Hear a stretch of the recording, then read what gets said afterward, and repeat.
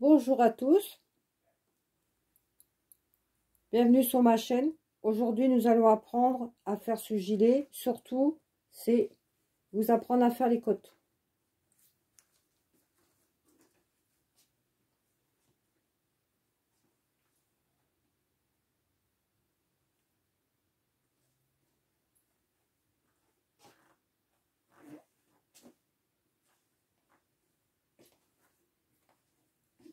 Donc, il est vraiment bien large.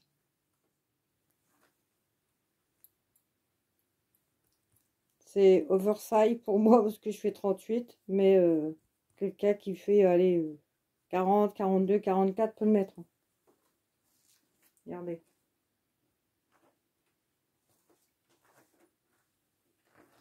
Vraiment oversize.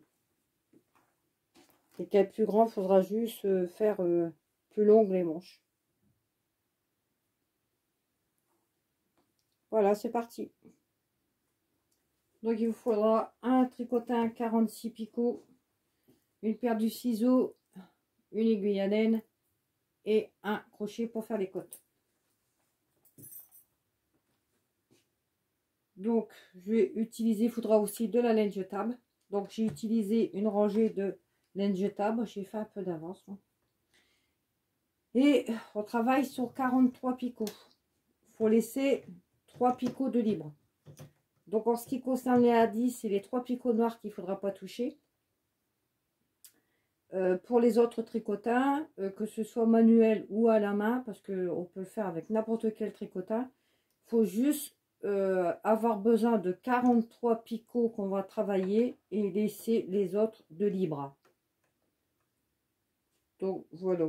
Donc pour faire les... Donc on travaille sur 43 picot. J'ai un tic je dis toujours donc.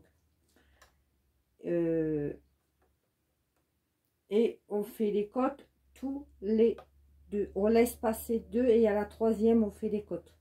Donc au démarrage, on tricote normalement les deux. On met le fil, la, la laine de côté et on tricote à la troisième. Donc je vais vous faire voir. Ici, vous voyez, j'ai fait les côtes. Donc, j'ai tricoté les une, deux. J'ai mis le fil. Je l'ai retiré du, du tordeur. Je sais pas comment on appelle ça. Je l'ai retiré. Et j'ai fait partir les mailles. Donc, comme on a fait 18 rangées, on fait partir 17. On laisse la 18e en bas. Donc, et on reprend comme ça avec le crochet. On remonte.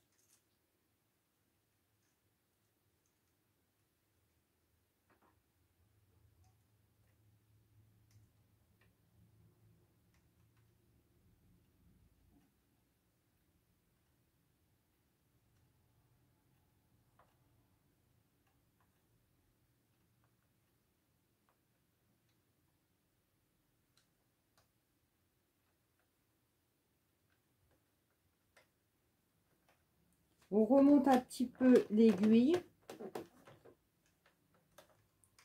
pour pouvoir replacer sur l'aiguille une fois que c'est tricoté avec le crochet. On va tourner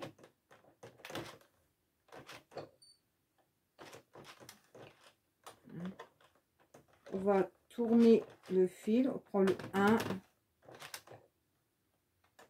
on prend le 2, troisième et hop on met sur le côté. Et on le lâche. Vous voyez hop ça part tout seul. Faites attention la dernière faut pas qu'elle parte. Voilà la dernière. Voyez?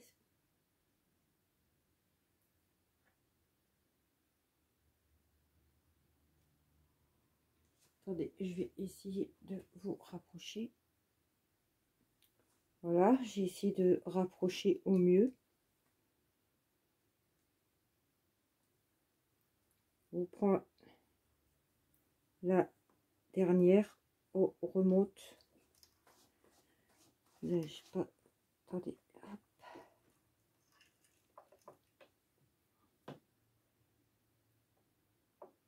On remonte.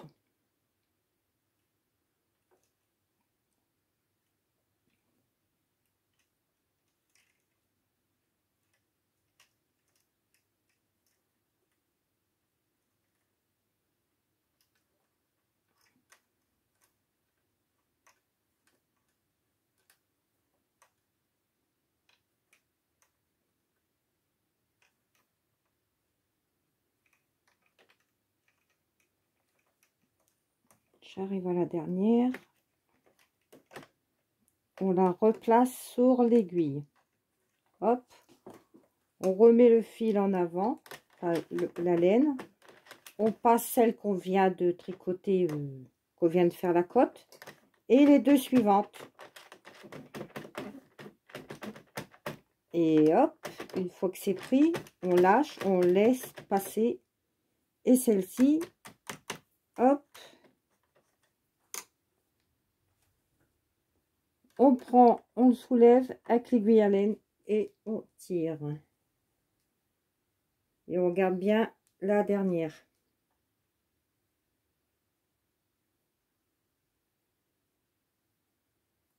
Vous on garde la dernière.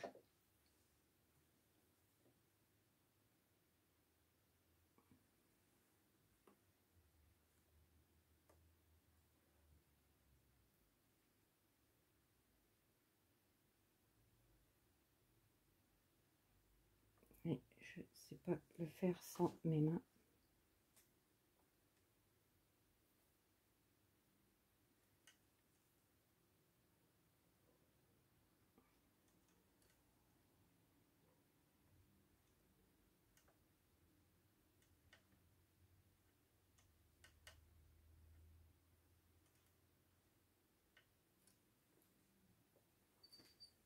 voyez, on là et on tire.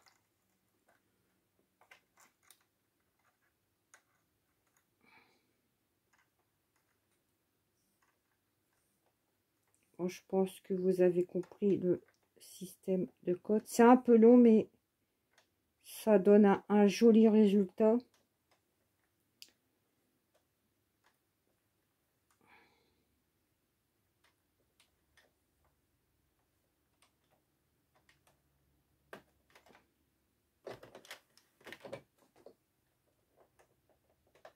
Et on replace sur l'aiguille on repasse, on n'oublie pas de repasser son fil en avant. Donc, une, deux, et hop, on lâche et on fait partir celle-ci.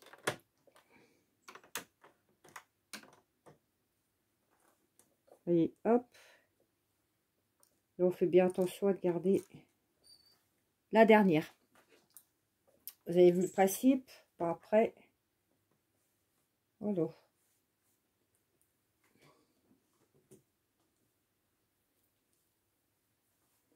donc, je vais vous expliquer. Euh, ah ouais. Euh, là, donc, du coup, on fait le, le bord de la manche. Donc, ça part sur 18 euh, rangées et on fait les côtes. Après, on, après les côtes, on va faire que des va-et-vient, travailler à plat sur les 43 picots. On va faire 200 tours. Au bout de 200 tours, on va mettre un fil d'attente, c'est-à-dire que ben, au, bout de 200 tours, vous faites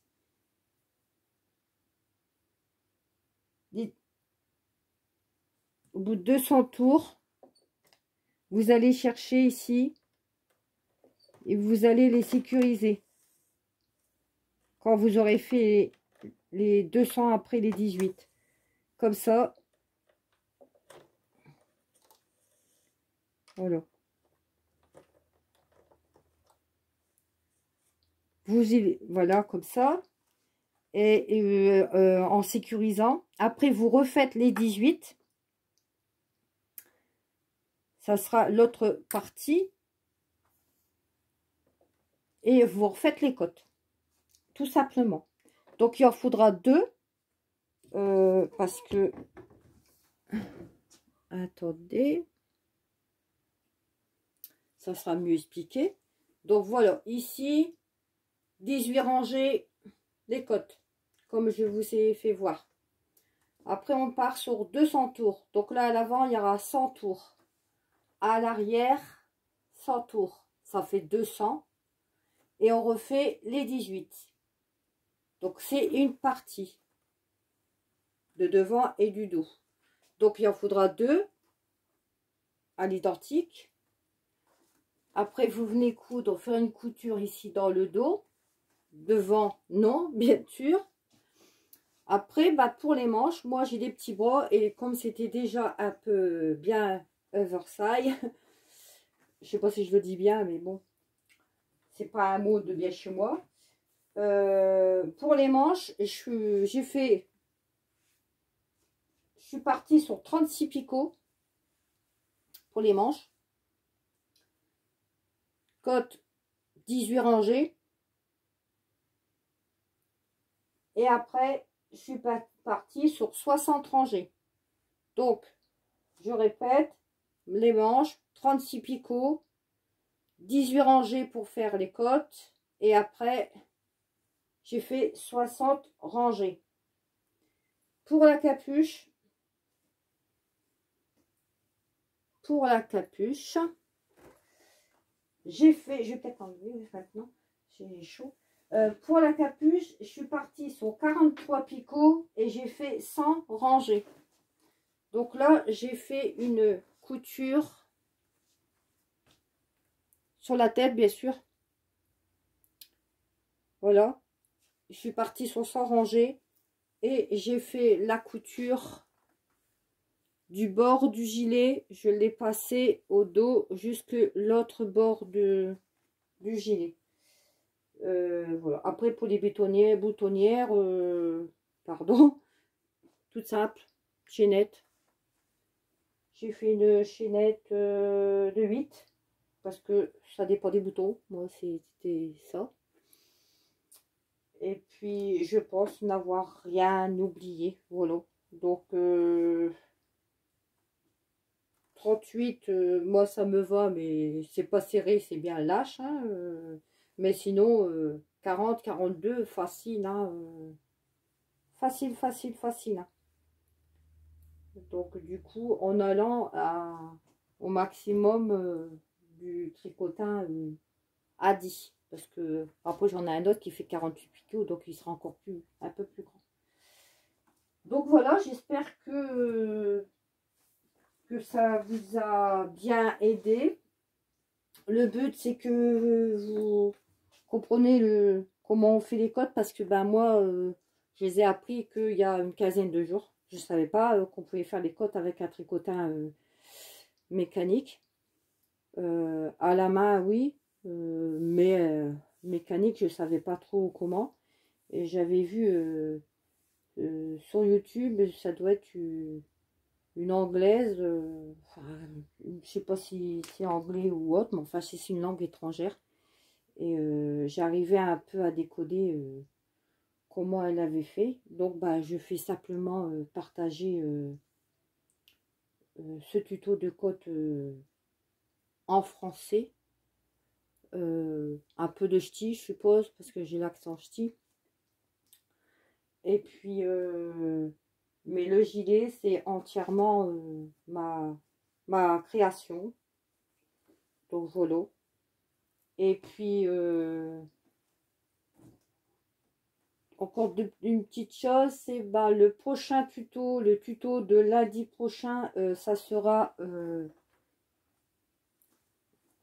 le jeu de morpion que mes petites filles ont adoré et pas uniquement mes petites filles parce que mes grands garçons sont venus hier et j'ai un de mes grands garçons, je sais pas, enfin peut-être le deux, j'ai pas fait trop attention Ouais, ça les deux. Mes grands garçons ont joué avec leurs enfants. Donc, euh, ça sera le tuto de la semaine prochaine. Hein, avec son petit sac de rangement. Le petit petit tapis damier, je sais pas comment on appelle. Et les fameuses petites croix et ça, ils ont kiffé. Et j'ai bien d'autres petites surprises. J'ai aussi le petit gilet euh, pour euh, l'enfant de 10, 10, 11 ans, petit gilet d'été. Donc là, il m'a fallu que euh, deux petites boules comme ça pour le petit gilet d'été. Donc ça, la laine que j'avais trouvé à Jiffy, que j'ai pas de bêtises, celle-ci, c'est la Penguin, un Jiffy. Donc voilà, enfin, et etc., etc. Euh, n'oubliez pas ceux qui sont abonnés à ma chaîne YouTube et qui sont abonnés aussi à euh, Mamie Tricotin. Vous pouvez avoir les patrons, c'est entièrement gratuit, je ne fais payer personne. Le but c'était de faire des tutos simples, utiles et pas chers du tout, avec la laine la moins chère que je peux trouver. Et donc le, je fais partager également euh, mes patrons gratuits, mais la condition pour que je vous les envoie, il faut à la fois que ce soit sur, que vous êtes sur ma chaîne YouTube et sur euh, mon Facebook, parce que les envois se fait sur le Facebook de Mamounette Tricotin. Donc sur ce, je vous fais des gros gros gros gros bisous. Et encore merci de me soutenir, parce que j'ai pas, pas pas trop l'habitude encore, mais bon, ça, vient, grâce à vous. Et euh, bisous, bisous les ch'tis. Au revoir.